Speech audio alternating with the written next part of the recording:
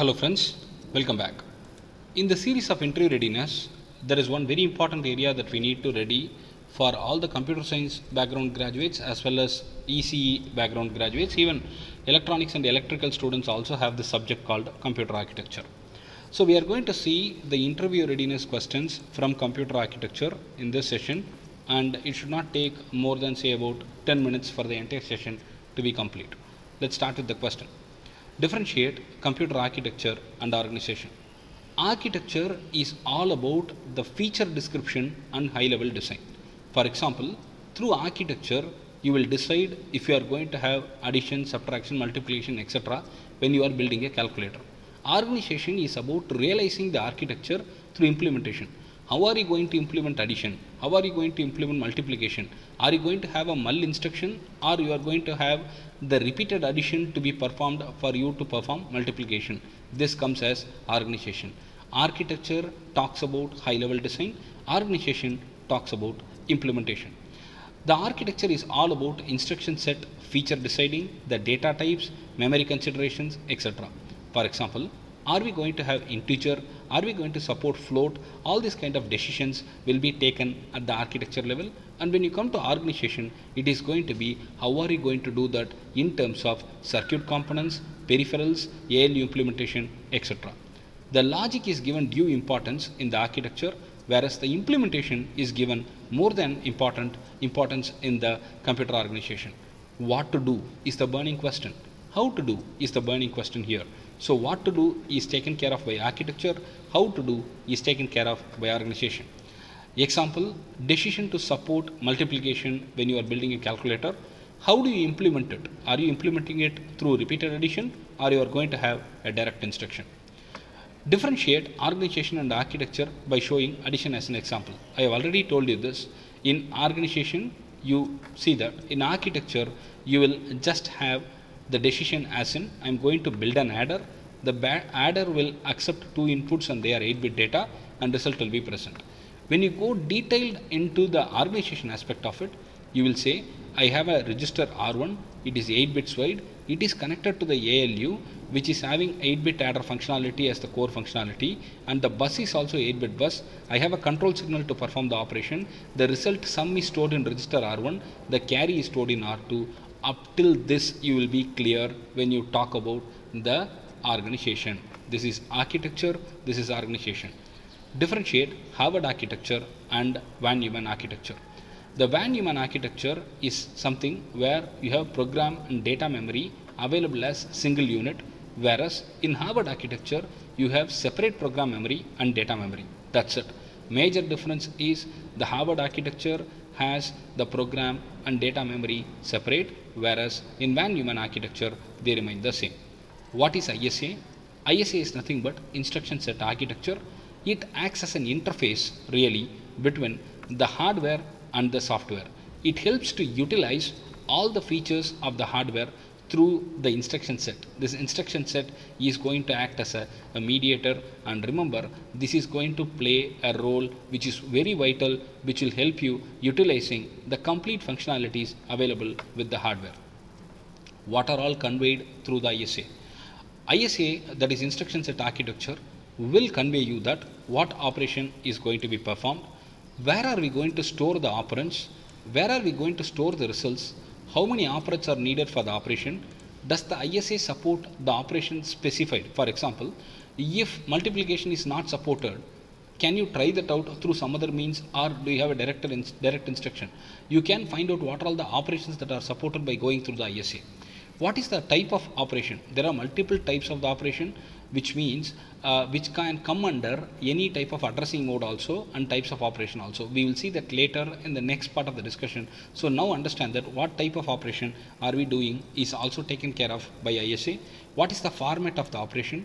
What are the size of the operands? What are the addressing modes that are supported? These all are conveyed just through ISA. Remember, ISA is nothing but a mediator and it is an interface between the hardware and the software and it is playing the role which is very vital which helps you utilize the complete power. What are the four types of ISA architectures that you know? Accumulator, stack, register and the second one is also register but we call it load and store method of it. The first one is called general purpose and the second one is called load and store. Can we give an example for load and store approach of ISA? Now I am going to add a couple of numbers. For that first I need to load the register R1 from certain location. See here the register R1 is loaded with the content from the location 1000 register R2 is loaded with the content from 1200 I am adding them both. Now I need to store the result into 1300 for that I need to use store. Now I loaded the information into the register R1 with load instruction. I stored the result into location through the store instruction. And this is called the load and store architecture which is obviously called as the RISC method of operating. This is very very important. And remember don't forget now R equal to A plus B implement this with all four ISAs when it is sorry A star B. When it is stack based ISA I'll just push A push B mult pop R finished. This is called stack based ISA when it is accumulator based ISA I can load the content of A into accumulator and I can do a multiplication B there mul B and finished store R. That is it. It is over general purpose is very easy. Mul R comma A comma B. A comma B is multiplication will be happening and result will go into R. Very simple. Now load and store architecture is where you need to understand how things work. First I will load R1 second I will load R2 maybe and R2 and R3 are loaded here and I put the result into R4 now and then I store the content back to R1. This is how the load and store architecture works. Uh, remember the load and store both are very important for any RISC architecture. Explain what happens in the instruction execution flow. First, the instruction will be fetched. I have three instructions for example. The first instruction is now fetched from the program memory. I will then decode the instruction. This decoding is the process where I understand what that instruction is. And then once I understood the instruction, I need to know what are all the operands that I'm going to work with. Operands are nothing but A B C is there, right? That is the operand. And then I execute, I perform the operation. Now store the result as per the requirement. You can store the result in the memory location or you can store it say in a register. Now update the program counter with the next location's address. That's it. This is called the instruction execution flow and this is a very important question. Remember, explain program counter stack pointer with a simple example. Program counter is nothing but a register which can store address of the next instruction. Finished. Why do we have to do it? We need to do it because we need faster execution. Can the programmer know the address of program counter? Most of the architectures don't reveal it. You need not know it stack and stack pointer. Stack is a temporary storage area where we can store some values and stack pointer is to point the first available free space in the stack. The stack is again temporary. Please remember we can push the data onto the stack and pop the data from the stack. It is used during the function call. It is used for all temporary storage purposes. Differentiate compiler and interpreter. This is a very important question compiler uh, reads the entire program and converts it into the machine code at once. It's a bunch of code that is being read at once and you will get it compiled as one stuff on the whole. GCC or Turbo C is the best example for this compiler. Interpreter is going to scan line one after another and best example is Python. Once the first line's bug is fixed, I'll go to the second line for me to analyze it. Now, go to the next point. Compiler generates object code. GCC for example generates .o files.